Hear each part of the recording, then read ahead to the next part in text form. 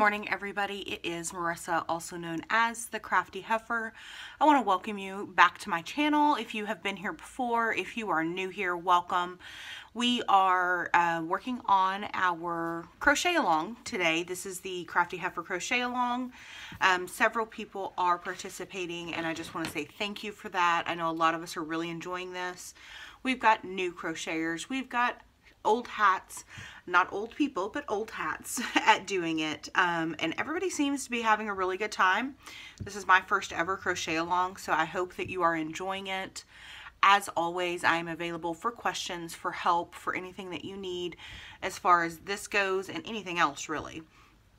Um, what we're doing today is um, you should have should be finished before you start watching this uh, tutorial you should be finished with the second row. So this is going to be the last actual tutorial for the crochet along because after this after we start the third row you guys will be able to finish the rest of the blanket. So all of the rest of our uh, live streams are actually going to be um, just hanging out and crocheting together and getting the blankets finished. It's not a race.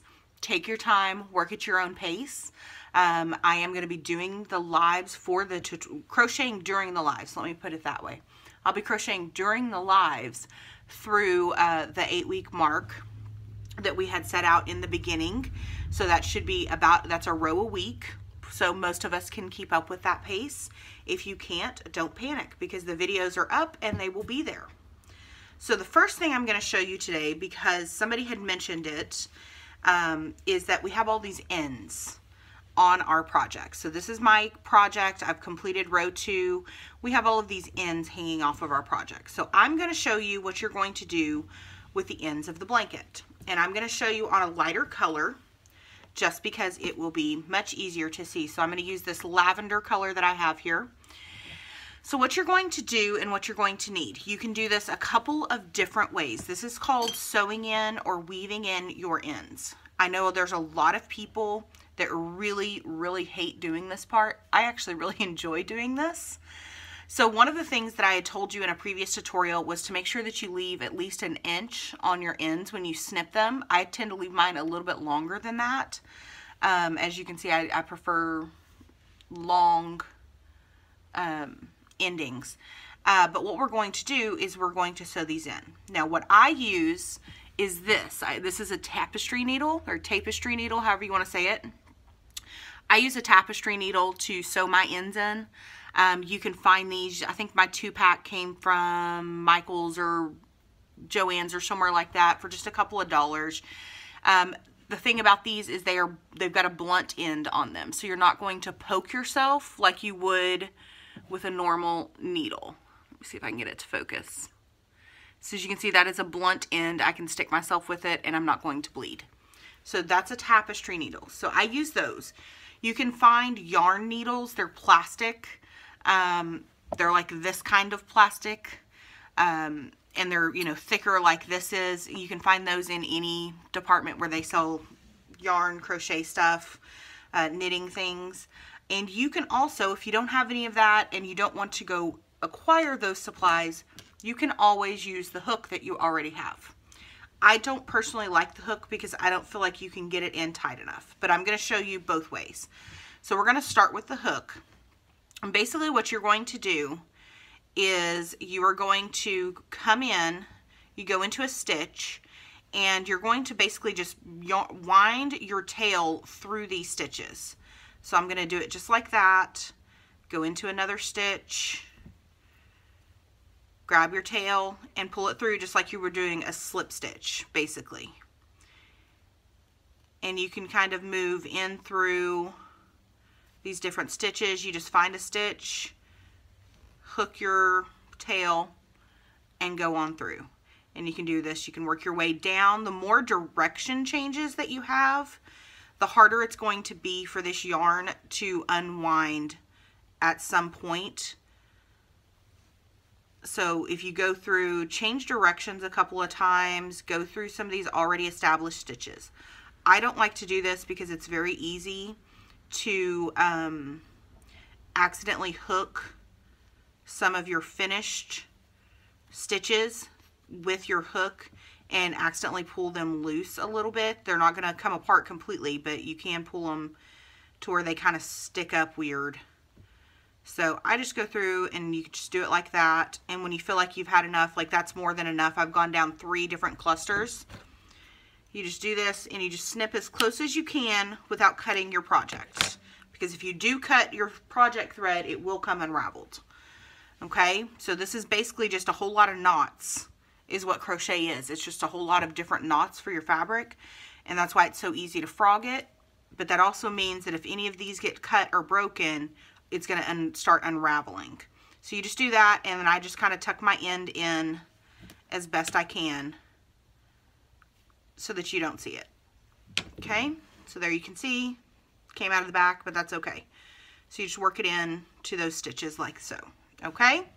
So that's the first way, that's the way to do it with your hook. Just be careful that you don't pull one of your stitches loose, all right? Now, there's the other end. The way that I do it with a tapestry needle is you're going to take your needle, I fold just the end over, work your yarn in, which is kind of difficult sometimes, and then you're basically just going to sew this through your stitches using that needle. And again, you're going to change directions as much as possible. So there you go. I pulled it straight across. Now I'm going to go down through some of these stitches. Like so. Change directions again, get in through some of these. I just find this much easier and faster way to sew in. Sorry, I put that in. Used to sticking it in my mouth to hold it. And then you just snip, just like the last time. So you can see there. And then let's find another. Here's a corner. Here.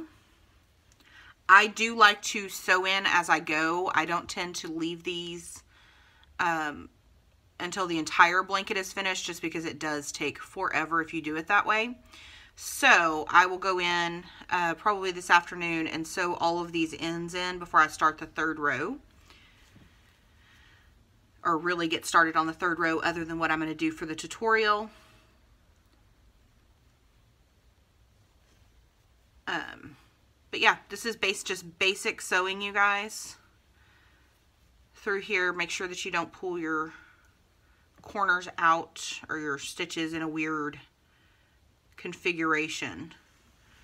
And I like to sew my ends in. Obviously, if it's lavender, I'm going to sew it into the lavender part. If it's black, I'm going to sew it into the black. Um, just because that's going to hide that tail going through there if I had sewed it through the black, you would be able to see that purple inside of those stitches. So keep your colors consistent. So this black tail, I'm going to sew this way into this black section. This purple, I'm going to sew into the purple. Black will go this way.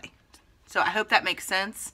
Um, I think that would be a fairly obvious, but I did want to go ahead and say it just in case uh, somebody didn't realize. So yeah, you're going to just take your ends, and you're going to sew them into the color they belong to.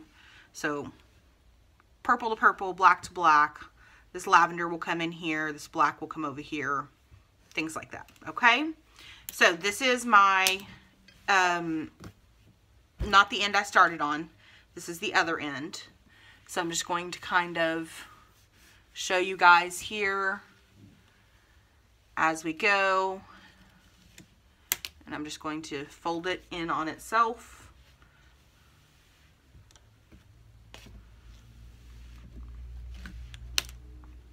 So you can just kind of get an idea of what it looks like.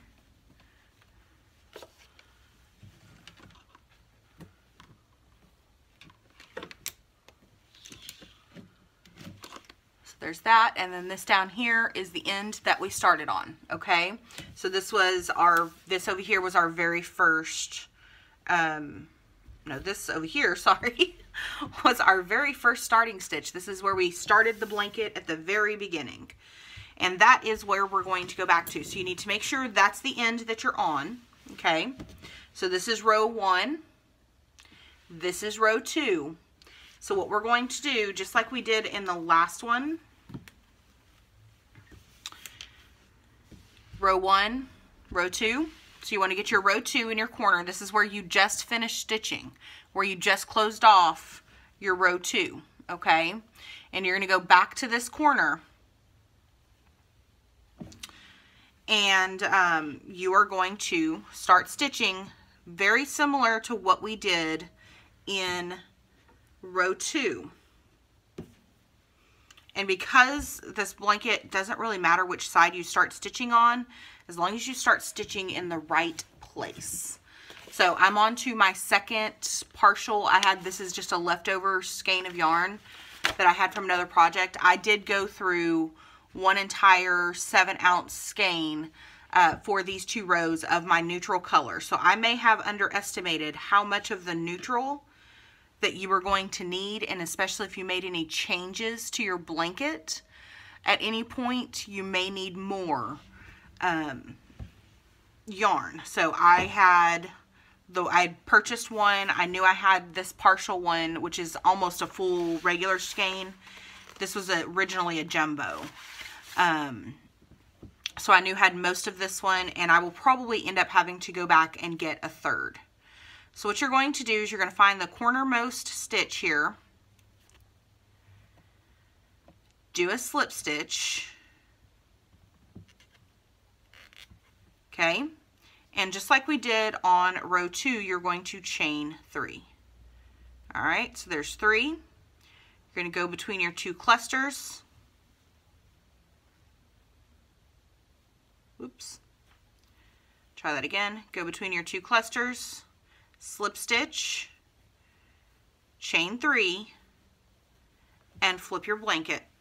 And you're going to do this really basically just like you did the other, the second row, uh, first row to second row. It's pretty much the same concept.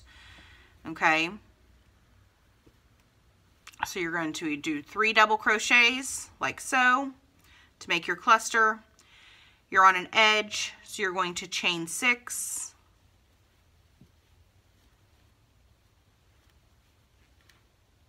Five,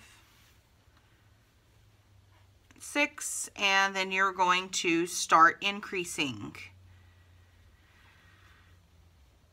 So there's one,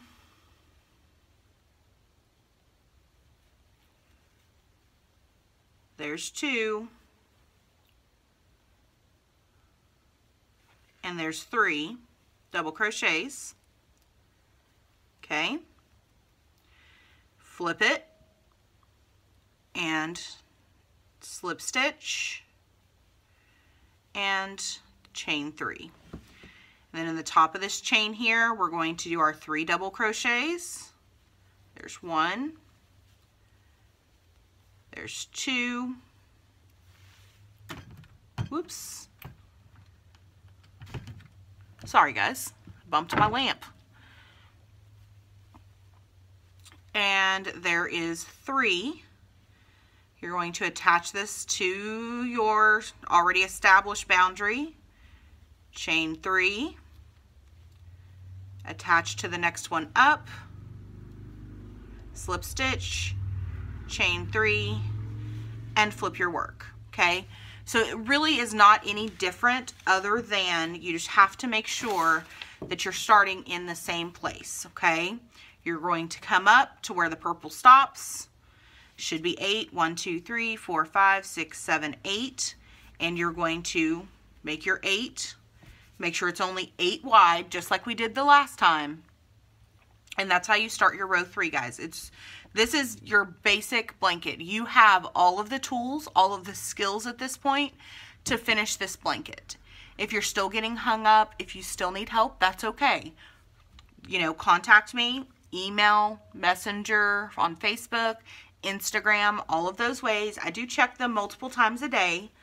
Um, today is football uh, Sunday. It is Super Bowl Sunday, so I am going to a friend's house to watch the game, so I probably won't be able to get back to you for a few hours um, this afternoon and this evening, but I will get back to you um, as soon as I can. But basically, you guys have the skills now to finish this blanket. Go at your own pace. Do what you would like to do. You're going to stick with the um, pattern. So my pattern says that if I'm starting on this end, it's going to be black. And then I'm going to go color B because this is my color A.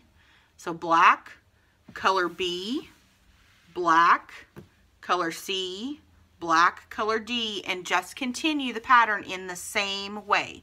There is a link of the actual picture of the pattern so that you can see. Now remember, first row we went up, we started here and we went up. The second row you're coming down and the third row we're going back up. So it's zigzagging each way. So you're going to go up the pattern, down the pattern, up the pattern, down the pattern, okay? So on odd number rows, you're going up, and on even number rows, you're going down. I hope that makes sense. If it doesn't, let me, uh, let me know, and I will try to explain it a little bit better. But with the direction change, you should be taking your, um, your V should be going the same way as this is. Does that make sense? I hope it does. Um, I will get back to you here in just a second. Okay, so I came back. I added just a little bit on over here. So this is where we're working on. This is our third row, the start of our third row. So I figured out a better way to explain this. So if you see, this is our original starting point. This is where the blanket originally started. These stitches are going this way. When we added in row two, the stitches are going this way so that they meet in the middle. Row three, they need to go the same way as row one. So they're gonna go this way again. So it's this way. We changed and came up from the top and came this way to make sure our stitches changed directions. And now because we are going back in the original direction from right to left, our stitches had to change direction, which is why we start on this end. So on the odd rows, you're going to start on your original starting point. That end of the blanket is where you will start your row. So for rows 1, 3, 5, and 7, you're going to start on this end of the blanket so that your stitches go right to left. Rows 2, 4, 6, and 8, you're going to start on the opposite end of the blanket so that your stitches go from left to right. I hope that made more sense than my babbling from earlier. But you can see here, these stitches are going in this direction and these are going in this direction. That's what gives you that really great chevron shape to the blanket. Um, but because we change directions, we start at different ends. So row one, the odd rows start here, the even rows start up at the other end of the blanket. If you have any questions about that, um, I would suggest marking the original end of your blanket. So if you sew in your ends, maybe leave this one out since this is the original end. Um, you can do different things. You can put a different colored stitch marker in there if you have it. But I would mark where you originally started your blanket and make sure that you know which corner that is if you followed the pattern, you can always go back and figure out that this black is where we started. And um, each of your odd rows will end with this black. Your neutral color, so each of your odd rows are going to end in the neutral color. And your even rows will end in a, a color A. It looks like our color A, color B, color C, or color D. So we'll end in a color even rows and your odd rows will end with your neutral. So that's another way to tell where you are in the blanket. Again, as always, if you have any questions, please let me know. I am here to help. I want to say thank you um, to all of you that are participating, to anyone that has subscribed. Um, I do really appreciate your subscriptions. We're going to keep going with this. Um, people seem to really be enjoying it. Um, I'll try to come up maybe with some fun things, some other fun things for us to do. And um, if you are not subscribed, please consider uh, subscribing. Ring that bell to get all the notifications when I go live on Wednesdays, when I put up a new video. There, This video will go up on Monday the 3rd. Um, we go live on Wednesdays at 7 p.m. Central Time and usually another video on Friday or Saturday. So I hope you guys enjoyed this. I hope to see you all again soon and to talk with you all again soon. And uh, I'm going to go football now. So I will talk to you guys later. And remember, until next time, craft like someone left the barn door open. Bye, guys.